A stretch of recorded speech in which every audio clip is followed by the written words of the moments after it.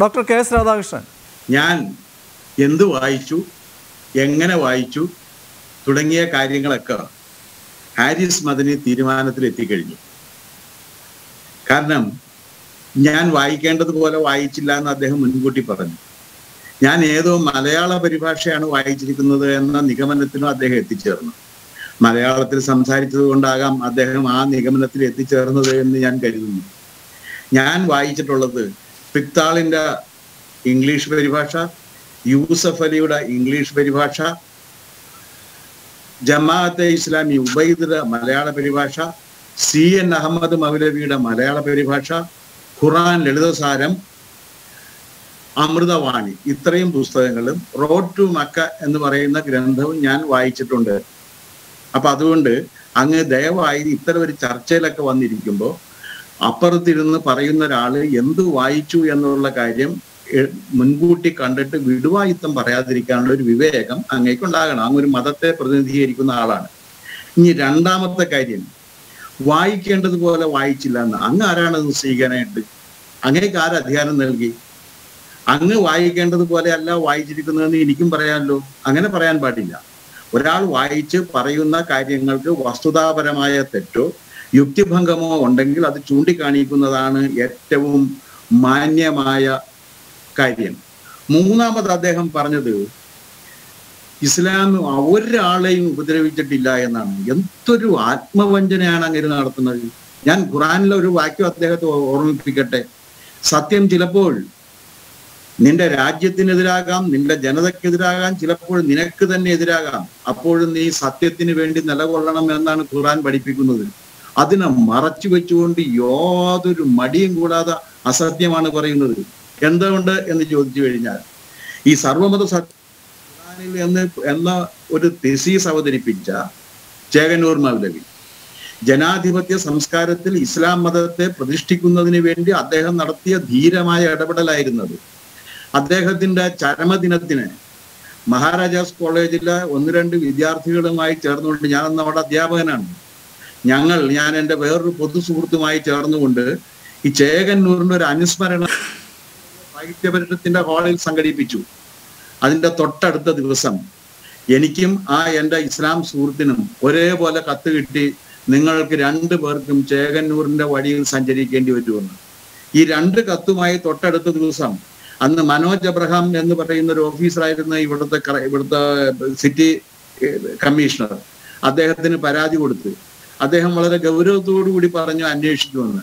എന്താണ് അദ്ദേഹം അന്വേഷിച്ചത് എന്നുള്ള കാര്യം ആർക്കും അറിയില്ല. അത് കഴിഞ്ഞ് ഞാൻ വൈസ് ചാൻസലർ ആയിരിക്കുമ്പോൾ ഭാഗത്ത് നിന്ന സമയത്ത് എനിക്കുണ്ടായ ത്രെട്ടിന്റെ അടിസ്ഥാനത്തിൽ അന്നത്തെ ആഭ്യന്തര വകുപ്പ് മന്ത്രിയായിരുന്ന കൊടിയേരി ബാലകൃഷ്ണൻ എനിക്ക് പോലും എന്റെ വീടിന് പോലീസ് കാവൽ ഏർപ്പെടുത്തി.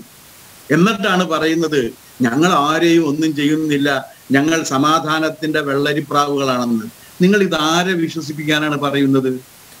നിങ്ങൾ ആരെ വിശ്വസിപ്പിക്കാനാണ് പറയുന്നത്? ജിഹാദിൽ ഏർപ്പെട്ട് ചത്താലും കൊന്നാലും സ്വർഗരാജ്യം കിട്ടുമെന്ന് നിങ്ങൾ പഠിപ്പിക്കുന്നത് തെറ്റല്ലേ? അങ്ങനെ നിങ്ങൾക്ക് വിശ്വാസം ഉണ്ടെങ്കിൽ നിങ്ങളുടെ ആത്യന്തിക ലക്ഷ്യം സ്വർഗത്തിൽ പോകുന്നതാണല്ലോ. അപ്പൊ ബഹുമാനപ്പെട്ട ഹാരിസ് മദനി അങ്ങ് ആദ്യം തന്നെ മരിച്ചു സ്വർഗത്തിലെത്ത്. എന്നിട്ട് അങ്ങ് പഠിപ്പിക്കൂ. ഇത് അത് ഇതല്ലാതെ നേരത്തെ ഇവിടെ അസ്കർ അലി സൂചിപ്പിച്ചതുപോലെ ഈ പാവപ്പെട്ട മനുഷ്യരെ വളരെ തെറ്റായ കാര്യങ്ങൾ പറഞ്ഞ് പഠിപ്പിച്ചുകൊണ്ട് അവരെ ജനവിരുദ്ധരാക്കി മാറ്റുന്നതിനാണ് നിങ്ങൾ പരിശ്രമിച്ചുകൊണ്ടിരിക്കുന്നത്. അത് എന്തെങ്കിലും ആരെങ്കിലും പറഞ്ഞു കഴിഞ്ഞാൽ അപ്പൊ കോണ്ടക്സ്റ്റ് നോക്കണമെന്ന് പറയും. ഈ കോണ്ടക്സ്റ്റ് നിശ്ചയിക്കാൻ നിങ്ങൾക്ക് ആരാണ് അധികാരം നൽകിയിരിക്കുന്നത്? ഖുറാനിൽ എവിടെയാണ് നിങ്ങൾ കോണ്ടക്സ്റ്റ് നിശ്ചയിച്ച് കാര്യം പറയണമെന്ന് പറഞ്ഞിരിക്കുന്നത്? ദൈവത്തിന്റെ വചനം ഏത് മനുഷ്യനും മനസ്സിലാക്കാവുന്നത് വിധത്തിൽ പറഞ്ഞിരിക്കുന്ന ഖുറാനിൽ. അത് നിങ്ങൾ മനസ്സിലാക്കിയതല്ല. ഞങ്ങൾ പറഞ്ഞു തരാം. അതനുസരിച്ച് നിങ്ങൾ മനസ്സിലാക്കി എന്ന് പറഞ്ഞാൽ ശരിയാകുമോ? ഇനി ഞാൻ പറഞ്ഞ കൃഷിയിടം അത് എന്റെ വായന തെറ്റിപ്പോയി എന്നാണ് പറയുന്നത്. ഭൂമി ഒരു ചരക്കാക്കി മാറ്റിയിട്ട് ആ ചരക്കിന്റെ ഉടമസ്ഥനായി പുരുഷനെ സങ്കല്പിക്കുകയാണ്. അപ്പൊ സ്ത്രീയെ ചരക്കാക്കി മാറ്റി പരാമർശിക്കുന്നു എന്നുള്ളത് കനത്ത സ്ത്രീവിരുദ്ധതയാണ് അത് ചെയ്യാൻ പാടില്ല. നിങ്ങൾ ജീവിക്കുന്നത് ഒരു ജനാധിപത്യ സമൂഹത്തിലാണ്. ആ ജനാധിപത്യ സമൂഹത്തിൽ ജെൻഡർ ഇക്വാലിറ്റി എന്ന സംഗതി ഉണ്ട്. നിങ്ങൾക്ക് ഇഷ്ടപ്പെട്ടാലും ഇല്ലെങ്കിലും ഭരണഘടന അനുസരിച്ച് അത് അംഗീകരിച്ചേ പറ്റൂ. എന്തടിസ്ഥാനത്തിലാണ് ഹാരിസ് മദനി? നിങ്ങൾ ഈ ഭർത്താവിന്റെ ഫോട്ടോ പതിച്ചുകൊണ്ട് വോട്ട് ചോദിക്കുന്ന മലപ്പുറത്ത് നിങ്ങൾ കണ്ടിട്ടുണ്ടല്ലോ? അതിന് അതിനെതിരെ നിങ്ങൾ ഒരു വാക്ക് എപ്പോഴെങ്കിലും പറഞ്ഞിട്ടുണ്ടോ? എന്തുകൊണ്ടാണ് നിങ്ങളത് പറയാത്തത്? നിങ്ങൾ ഈ സർവമത സത്യവാദം എന്നുള്ളത് ഖുറാനിലുള്ള പോസിറ്റീവായ കാര്യങ്ങളെ സമഗ്രമായി സമന്വയിപ്പിച്ചുകൊണ്ട് അദ്ദേഹം ഇറക്കിയ ഒരു തിസീസാണ് അതിന്റെ പേരിൽ പത്താം ദിവസത്തിന് മുൻപേ അദ്ദേഹം കൊല്ലപ്പെട്ടു. നിങ്ങളത് മനസ്സിലാക്കണം. അദ്ദേഹം കൊല്ലപ്പെട്ടു. പിന്നെ പൊളിറ്റിക്കൽ ഇസ്ലാം എന്നുള്ള ഒരു വസ്തുതയല്ലേ? നേരത്തെ ഇവിടെ അസ്കർ അലി പറഞ്ഞു മെക്കയിലോർ ഒരു കാര്യം പറഞ്ഞ് മദീനയിലേക്ക് പോകുമ്പോൾ ഒരു കാര്യം പറഞ്ഞു. ആ മദീന അത് ആക്രമിച്ച് കീഴടക്കിയതിന് ശേഷമാണ് പറയുന്നത്. ഇനി നമുക്ക് ഇത് ഹലാലിനെ കുറിച്ച് പറയാം. ഇതാ ഏറ്റവും സമ്പൂർണമായ ഒരു മതം ആവിഷ്കരിക്കപ്പെട്ടിരിക്കുന്നു. അതുകൊണ്ട് മറ്റ് മതങ്ങളൊന്നും ആവശ്യമില്ല എന്ന്. പ്രവാചകനല്ല ആര് പറഞ്ഞാലും അത് അംഗീകരിക്കാൻ ഞാൻ തയ്യാറല്ല. ഏത് മതങ്ങൾ ആർക്ക് എങ്ങനെ വേണമെന്ന് തീരുമാനിക്കാനുള്ള മനുഷ്യാവകാശമില്ലേ? നിങ്ങൾ എന്താ അതിനെ ധൂംസിക്കുന്നത് നിങ്ങളുടെ മതമാണ് ഏറ്റവും അത്യുത്തമെന്ന് നിങ്ങൾ വിശ്വസിച്ചോളൂ. അത് ഞാൻ കൂടി വിശ്വസിക്കണമെന്ന് നിങ്ങൾ ശഠിക്കുന്നത് എന്തിനാണ്? അങ്ങനെ വിശ്വസിക്കാൻ മടിക്കുന്നവരെ നിങ്ങൾ എന്തിനാണ് കൊല്ലുന്നത്? അങ്ങനെ കൊല്ലാൻ കഴിയാത്തവരുടെ മേൽ നിങ്ങൾ എന്തിനാണ് മത നികുതി ഏർപ്പെടുത്തുന്നത്? ഇതെല്ലാം ഏർപ്പെടുത്തിയതിന് ശേഷം ഇതാ ഞങ്ങൾ സമാധാനം കാക്ഷിക്കുന്നു. ഞങ്ങൾ സമാധാനം പറയുകയും മതത്തിന്റെ പേരിൽ ഒരു ആളെ പോലും കൊന്നിട്ടില്ല.